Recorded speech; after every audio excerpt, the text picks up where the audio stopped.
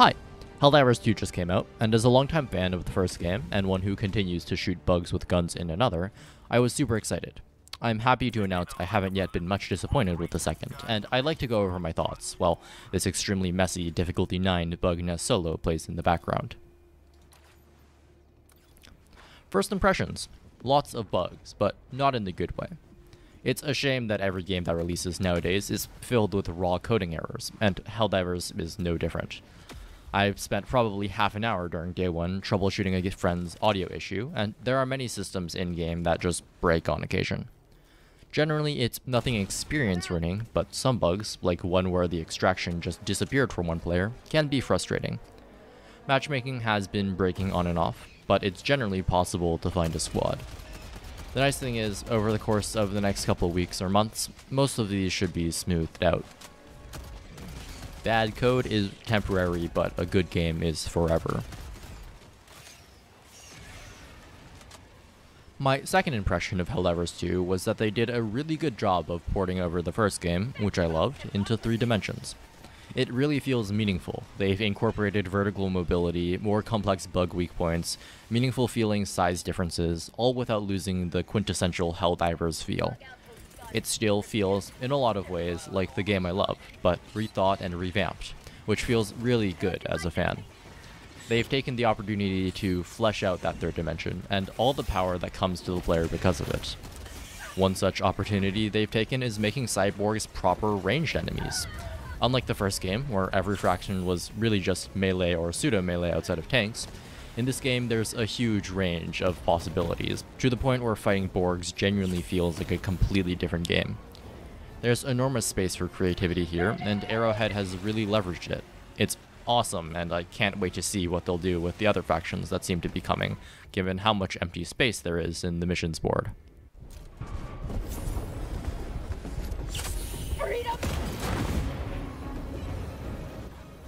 Combat feels quite good, though there is some choppiness with weapon switching and reloads. Weapons are generally medium satisfying, even if they often aren't the most effective, due to how heavily armored enemies are. Aiming with the quote-unquote realistic aiming system feels better than I would have expected, honestly, in a third-person shooter. Just make sure to turn off mouse acceleration, which is on by default. Movement is generally fine, if sometimes somewhat stilted, especially when you get knocked down by the game's seemingly quite complex physics engine. Stratagems are basically the same as they used to be functionally. They're a set of four quote-unquote ability slots that let you call in airstrikes, heavy weaponry, and more. Stratagem kills are as satisfying as ever, especially with the addition of a kill count at the bottom of the screen, which is a great touch. I wish stratagem kills were counted in the end screen, but it is what it is.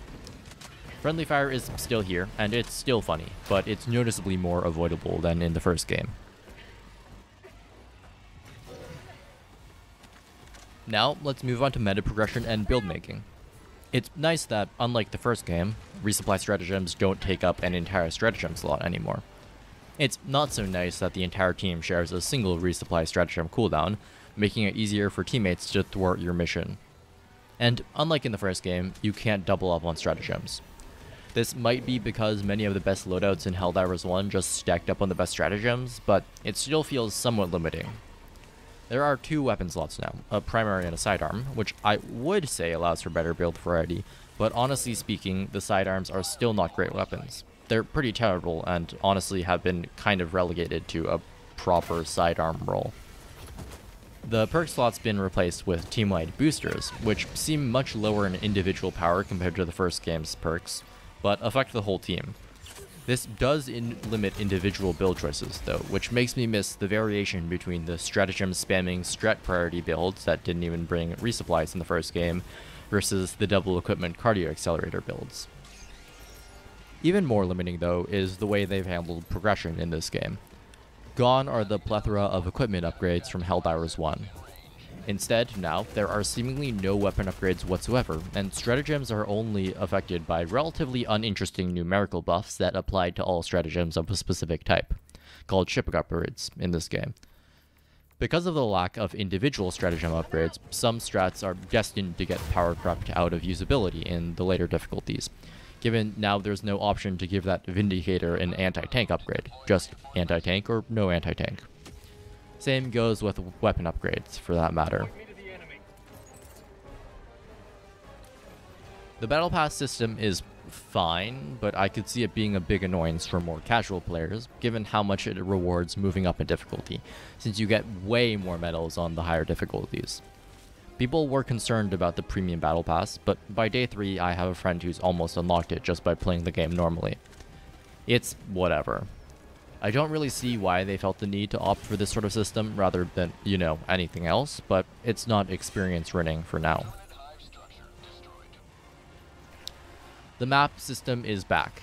Not sure if races will still be able to be fully cleared like in the first game, given we haven't done it yet, but that's a feature I hope doesn't come back. In the first game, you could be locked out of more than half the game's content for weeks at a time, given races became unplayable once you finished beating them back in the galactic map. One major complaint I have, though, is the new effects system. Every day, every single mission in a galactic sector gets applied with something that makes the mission a bit more challenging. Some of them are really, really brutal, like today's, which doubles stratagem call times on almost every bug planet.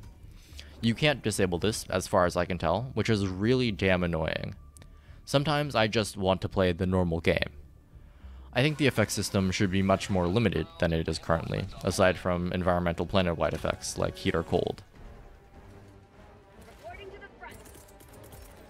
all mission objectives have been streamlined. Each mission is one specific objective now, rather than the randomized mishmash of primary objectives you'd get in the first game. This makes the experience much more streamlined and much more intentional feeling, which is great. Also, if you complete your mission now but fail to extract, you still win the mission. This is amazing, not only because it's very thematically appropriate for the disposable soldier tone of the game, but also because it makes losses sting a lot less. In exchange, you have to extract to retrieve the samples you picked up during the missions, which is vital for those stratagem upgrades I talked about earlier. Overall, mission flow and the reward system is great, and much better than the first game. That's most of the things I think most people will care about. If you're on the fence, I'd say buy the game. It's been a blast so far, and is really true to the classic Helldivers experience. The game is still thematically and aesthetically amazing. There's lots of fun to be had, especially with friends.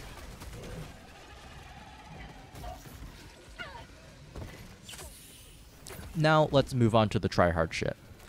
I have some concerns. Revives in this game are now limited, but in exchange, even if the whole crew dies, reinforced stratagems will still be called. It's no longer just a solo thing. This reduces tension in a lot of places, but also caps how hard they could reasonably make the game compared to the first one. And I have to say, difficulty 9 is pretty easy in the grand scheme of things, but in my opinion, for a lot of the wrong reasons me putting out a solo first try on day 3 is a little concerning, even if there is a ton of space for me to improve. Player killing power, partially due to the lack of stratagem upgrades, is not great. At high difficulties, as you might be able to see in the background, the game spams tons of enemies which take stratagems, often multiple of them, with cooldowns often measured in multiple minutes. This makes it often quite optimal to just run around the map, foregoing killing most of the larger enemies, just waiting for them to deaggro on top difficulties. Actually full clearing, on the other hand, is much more difficult, and probably sometimes even impossible, given how much more punishment some enemies can take, and given the fact that most enemies can now call in more waves, compounding the bugs in the area the longer you take to kill them. And on top of that, the game is honestly pretty easy if you don't try to kill every bug, given how augmented diver mobility is in this game. Drastically reducing player killing power and bumping the mobility to the roof is not exactly conducive to satisfying bug killing gameplay. I'm not super worried about this though, given Arrowhead has a track record of releasing more brutal difficulties, and balance is a more solvable problem than the fundamental feel of combat, which is quite good in its current state. Just please don't release the Rumbler again. I hope the game can be harder pretty soon, but for now, it's nice that the minimum level of skill to clear a difficulty 9 mission and the skill ceiling of the game are miles apart. Miles which I'm personally looking forward to walking. Happy diving out there. And hey, if you enjoyed the video, like, subscribe, all the algorithm things. It helps me out. I'll let this Bile Titan fight play out, but there's the full solo in the description if you're interested.